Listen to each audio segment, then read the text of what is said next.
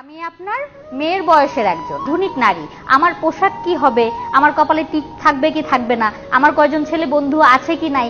এটা তো ঘরের লোকের মাথা ঘামানোর কথা। এটা নিয়ে আমি মাথা ঘামাবো, পরে মাথা না ঘামাবো আসসালামু আলাইকুম। আশা করি সবাই ভালো আছেন, সুস্থ আছেন। যারা যেখান থেকে আজকের ভিডিওটা দেখবেন, সবার কাছে রিকোয়েস্ট থাকবে ভিডিওটা অবশ্যই সবাই শেয়ার করতে ভুলবেন না। কারণ খুব ইম্পর্ট্যান্ট কিছু কথা বলতে যাচ্ছি। যদিও এই ভিডিওটা করার কোনো রকম ইন্টেনশন আমার ছিল না বাট মানে বেশ কিছুদিন ধরে ফেসবুকে ঢোকাই যাচ্ছে না, শুধুমাত্র এই টপিকটা চোখের সামনে চলে আসছে। সেটা কি? ভাষা নিয়ে একটা মিসআন্ডারস্ট্যান্ডিং বলব নাকি ইচ্ছাকৃত কাজ বলব আসলে আমি বুঝতে পারছি না। তবে আমার যতটুকুন দেখে সব কিছু বিবেচনা করে মনে হলো জাস্ট এটা টোটালি একটা হেনস্থা করার মতো একটা কাজ। আর সবচেয়ে বেশি মজার ব্যাপার হলো জাস্ট আপনারা একটু শুনে নেন কি বলতেছে মেয়েটা। তারপরে বাকি কথাগুলো আমি বলতেছি। লুকাচ্ছেন কেন? কি লুকাচ্ছি? চোখে চোখ মিলাচ্ছেন না? এ মাতারি তুমি এরকম উদলা গায়ে দাঁড়াই আছো কিনলে গিয়া কেমন আছেন? ভালো আছি। লুকাচ্ছেন কেন? কি লুকাচ্ছি? চোখে চোখ মিলাচ্ছেন না? কার সঙ্গে? আমার সঙ্গে? আমার তো বউ আছে।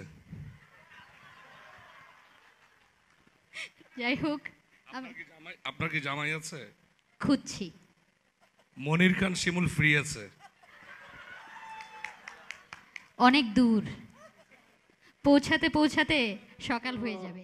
সবাই আশা করি শুনতে পারলেন কি বলল। জাস্ট আমি মুন্সীগঞ্জের মেয়ে আমি নোয়াখালীর মেয়ে না ফরিদপুরের মেয়ে না বাট সিলেটি মেয়ে না। তবে আমার কাছে পার্সোনালি মানে এক একটা অঞ্চলের ভাষা আসলে সব আমাদের সবারই উচিত প্রত্যেকটা ভাষাকেই সম্মান করা। কারণ এটা হচ্ছে যার যার আঞ্চলিক ভাষা।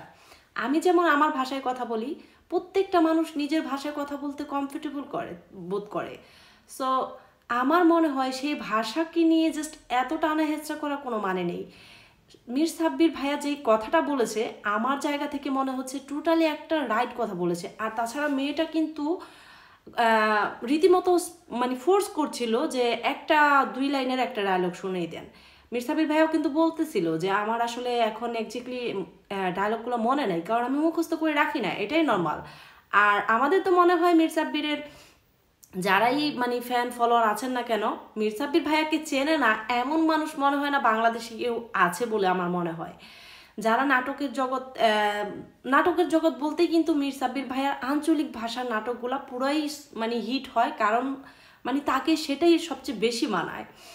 আর শুধুমাত্র একটা আঞ্চলিক ভাষাকে নিয়ে আজকে এত বড় একটা ইস্যু, এটা আমার মনে হয় না মানে এটা কি বলব আসলে? আমি যতটুকুন ইসরাত পায়েলের ব্যাপারে জানলাম বা তথ্যগুলা দেখলাম, ভিডিওমূলক, তথ্যমূলক ভিডিওগুলো দেখলাম, তখন আমি দেখতে পেলাম যে আসলে উনি চাইছিল একটা ভাইরাল টপিক কারণ উনি ভাইরাল হওয়ার মূল উদ্দেশ্য কিন্তু ক্রিম আপাকে নিয়ে। ওনার অনেকগুলো ভিডিও দেখলাম, যেগুলো একটু মোটামুটি ভিউজ আসছে, সেগুলো ক্রিম আপাকে নিয়ে।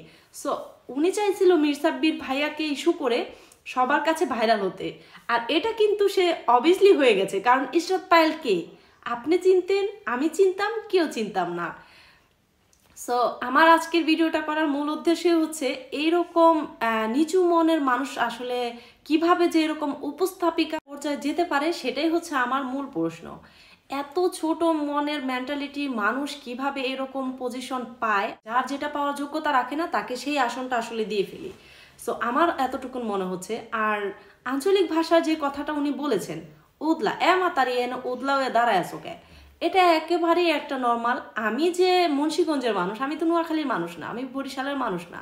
সো আমার কাছে কিন্তু আঞ্চলিক ভাষাগুলো বেশ ভালো লাগে। আমি নিজেও কিন্তু অনেক সময় এই রেহানা আর আখি আপুকে দেখে ইন্সপায়ার হয়ে অনেক সময় আমি নোয়াখালীর ভাষায় কথা বলতে পছন্দ করি। আমার ভালো লাগে, কিছু কিছু ভাষা খুবই ভালো লাগে। সো তাই বলে যে এই সামান্য একটা ইস্যুকে নিয়ে আপনাকে ভাইরাল হতে হবে, অবশ্যই কিন্তু ভাইরাল হতে চেয়েছিল আর এটা সে হয়ে গেছে। আপনার আর আমার মতো কিছু মানুষের কারণে হয়তো সে এই মানে সামান্য ইস্যুটাকে কেন্দ্র করে ভাইরাল হতে চেয়েছিল। আর উনি আরেকটা সাক্ষাৎকারে বলল যে, মীর সাব্বির তো মানে এত এত মানে সন আগের মানুষ, তো ওনার মত ওনার কাছে ওনার হিসেবে আমি ওনার মেয়ের বয়সী। তো মেয়ের বয়সী হয়ে ভাব মানে বাবার কাছে কীভাবে বাবাকে সরি বলতে বল মানে তাকে আনুষ্ঠানিকভাবে সরি বলতে হবে এটা কীভাবে তার মাথায় আসলো? একবার কি তার মাথায় এই চিন্তাটা আসলো না যে তাহলে তো আমি মেয়ের বয়সী তাহলে আমি তার জন্য মানে মেয়ের মতো সো মেয়েকে কেন বাবা হিসেবে সে এই কথাটা বলবে? আর তাছাড়া এমন না যে মির সাবির ভাই বিয়ে করেনি সেও প্রেম করে বিয়ে করে আছে আর আলহামদুলিল্লাহ আমাদের আম, মির সাবির ভাইয়ার ওয়াইফকে সবাই চিনেন সে মিস চুমকি। সো সেও একজন সেলিব্রিটি আর সে কেন ভাইরাল হতে চাবে? আমার সবচেয়ে একটা হাস্যকর ব্যাপার লাগছে ইসরাত পায়েল বলছে, মীর সাব্বির ভাইয়া নাকি তাকে এটা বুলিং করে ভাইরাল হতে চাইছে? এটা আমার টোটালি খুব হাসি পাইছে বিকজ সে একজন অলরেডি ভাইরাল পারসন সে কিনা তার মতো একটা মানে আসলে তাকে কিছু বলতেও ভয় লাগে, সত্যি কথা।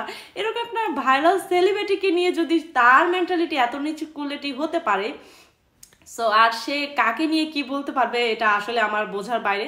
সো যাই হোক, অনেক কিছু বলে ফেললাম। যদি আমার এই ছোট্ট ভিডিওটা ভালো লাগে, অবশ্যই সবাই লাইক কমেন্ট শেয়ার করবেন, যাতে এরকম নিচু মেন্টালিটি মানুষগুলা এই ভিডিওগুলো থেকে আমাদের আমার মতো ভিডিও কিন্তু অনেক অনেক পেজ করেছে। সো তাদের সবার প্রতি আমার সম্মান রইল বিকজ প্রতিবাদ করা আমাদের ধর্মে প্লাস আমাদের উচিত প্রত্যেকেরই উচিত সত্যির পথে কথা বলা। সেটা আমি বলি, আপনি বলেন, যেই বলেন। সো সবার কাছে অনুরোধ রইল ভিডিওটা শেয়ার করবেন। সবাই ভালো থাকেন, সুস্থ থাকেন। Thank you so much for watching এতক্ষণ বকর বকর শোনার জন্য অনেক ধন্যবাদ। আবারও সবাইকে ধন্যবাদ জানিয়ে এখানে বিদায় নিচ্ছি। আল্লাহ হাফিজ।